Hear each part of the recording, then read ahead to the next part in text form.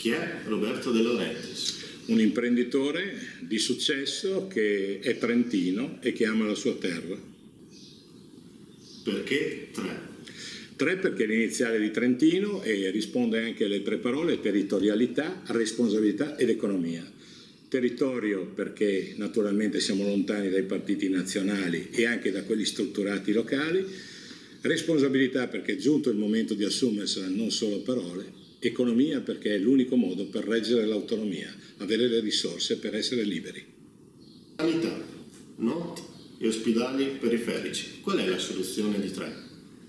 E il 30% del nostro bilancio, circa 1 miliardo e 300 milioni, se ne va eh, in eh, sanità. Bisogna avere il coraggio di fare alcune scelte che non tutte siano simpatiche. Bisogna pensare che ci è costata un'enormità la protonterapia per pochi casi, anche se naturalmente una vita ha un valore enorme e poi bisogna avere il coraggio di riassettare, di formare diciamo, di nuovo tutta la rete sanitaria.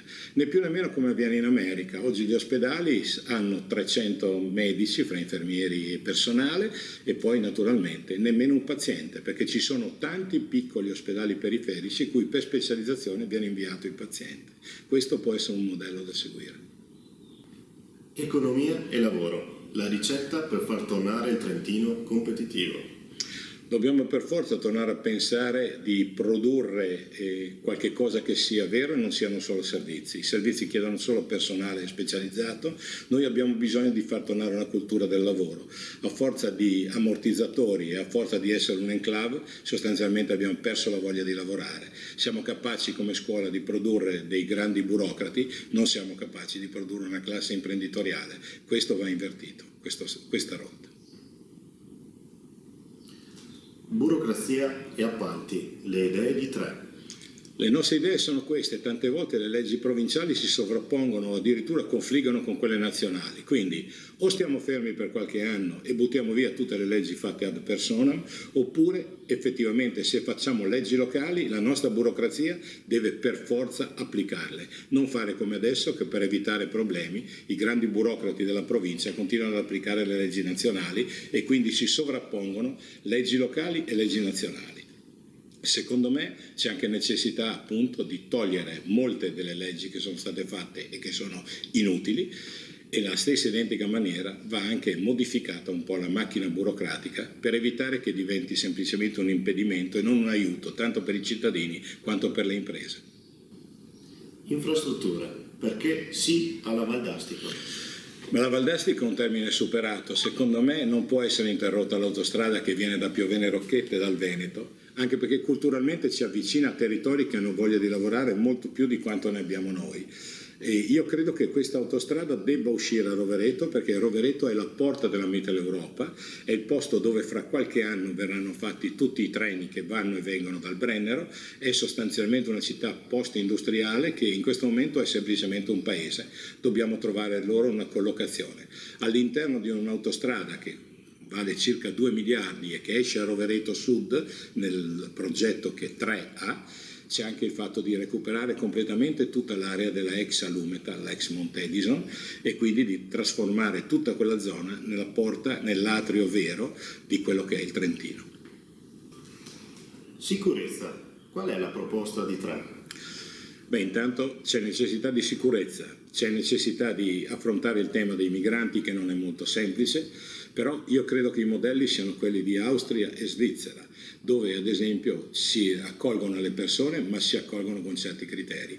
Chi non ha quei requisiti per forza non può rimanere, verrà ospitato ma dovrà anche tornare di ritorno. Il problema però non è solo quello dei migranti, è quello della sicurezza in genere che il Trentino ha in questi ultimi tempi. Bisogna potenziare un pochino le forze di polizia, anche la polizia urbana, perché non è pensabile che una persona vada a farsi accoltellare o si metta in mezzo a una rissa per 1300 euro al mese. Dobbiamo dare loro dignità e dobbiamo avere anche la capacità di smetterla con questo buonismo, ma di colpire quando si colpisce le parti che sono sbagliate, diciamo, della popolazione e avere il coraggio appunto di mettere in atto tutte le cose che rendano più sicura la vita del cittadino. Che cos'è la territorialità? La territorialità è amore per il territorio ed è senso di appartenenza, quella cosa che noi non abbiamo, ma che invece l'Alto Adige ha. anche se è vero che l'Alto Adige, a differenza nostra, è unito da una lingua comune. Noi dobbiamo recuperarla e questo lo recuperiamo culturalmente partendo già dalla scuola con un senso di appartenenza, col fatto di non avere tante valli slegate, ognuna un proprio mondo, ma di metterle insieme attraverso anche una maggiore responsabilità della classe politica, che deve smettere di guardare il proprio elettorato, costruire le strade o fare le opere pubbliche solo dove incassa voti.